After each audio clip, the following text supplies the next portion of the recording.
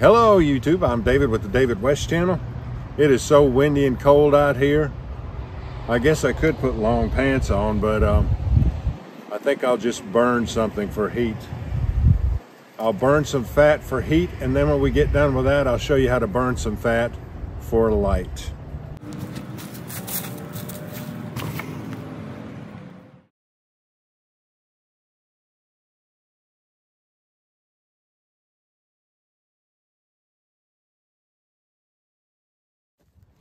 All right, I'm simply gonna make a fat lamp and I would encourage you to check out my fat lamp playlist. There's all kinds of styles of stoves, types of fat that you can use, but basically a fat lamp will burn any plant, animal, or petroleum grease or oil.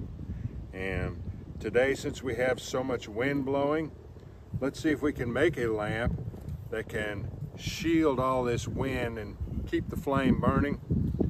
Normally I would take this paper off, but don't you think it would look cool if we could get this thing ignited with most of the paper still on it? I thought about getting down here a reservoir that's, you know, like three quarters of an inch deep, but only cutting a flame shaped hole right here. Will that allow enough oxygen in? I would think for the flame to burn and then the rest of the can to shield the flame from the winds. Let's just see and a wick. You can use a cotton ball.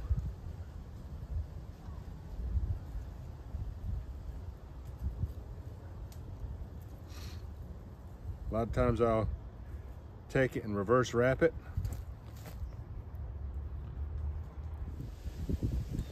And then you can tie it into a little knot. A half hitch would be all you need to kind of make it stand up.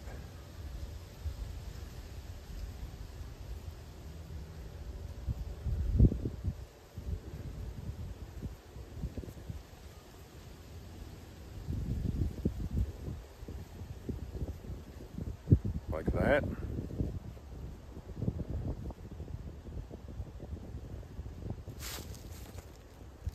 And I'm basically going to do the same thing with that t-shirt material.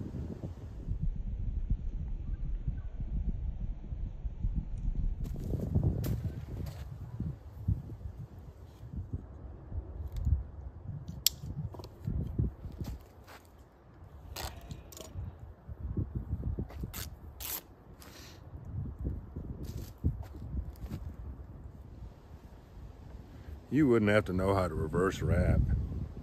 You could take this very piece of fabric and just keep tying half hitches in it and it'll build up a good enough wick for you to use, even if you had to sort of hang the wick over the side of the container. And this is a big fat wick, so it's gonna make a big flame, burn up the oil fast. So consider that when you're making these fat lamps. You want the reservoir and the flame to hold out all night? You better make a small wick. All right, there's my loop. I'm gonna come through it twice, I think. If it'll allow me to do it. Like that. Which will make a great base for my wick.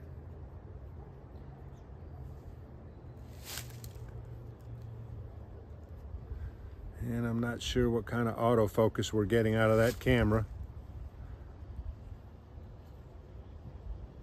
So I'm gonna come up about half inch. Be very careful. If you wanna wear gloves, wear some gloves.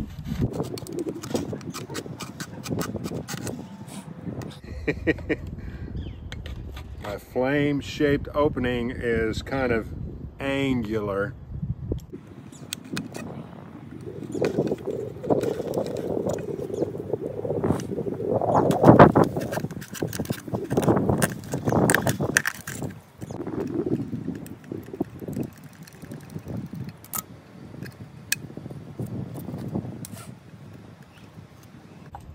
All right, let's see what happens.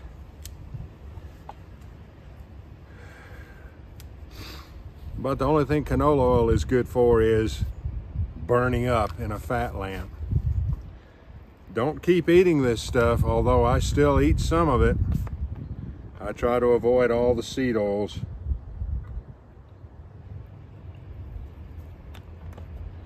And, oops.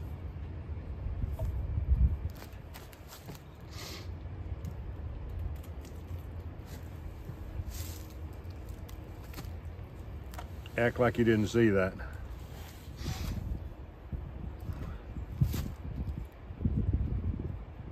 These t-shirt wicks are very durable. So let's go ahead and use it. And it's standing straight up like it's supposed to.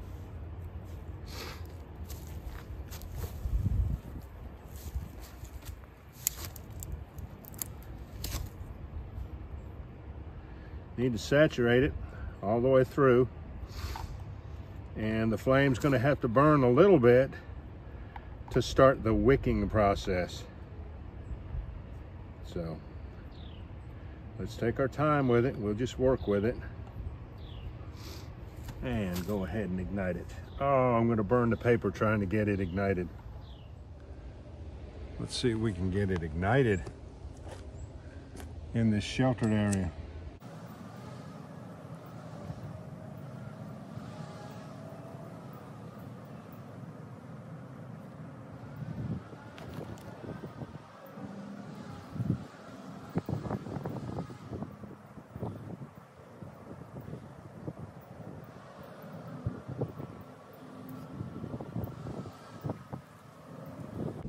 That took much longer than I thought it would. Let's let it get hot before we try to put it back down in that stove.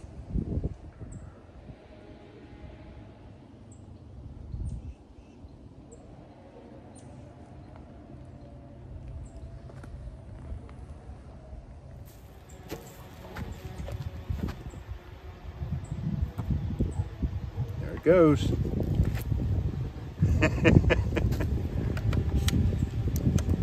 Not exactly a smooth operator on that one, but uh, we're out here doing experiments and it's definitely need to turn it away from the wind.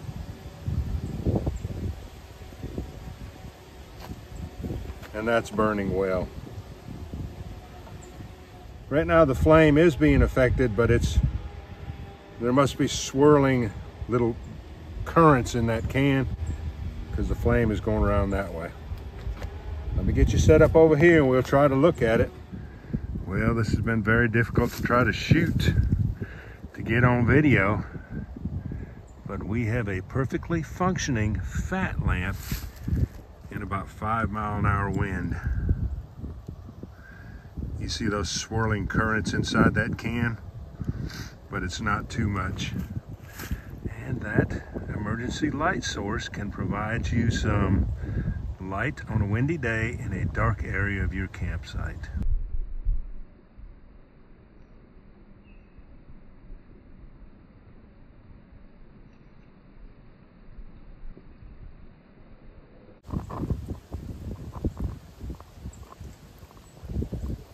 I'm gonna leave it turned towards the wind and see what it'll do. Let me get you set back up on the tripod. That fat lamp is doing a great job in the wind. You ought to see that flame swirling now, now that so much breeze is coming in this way.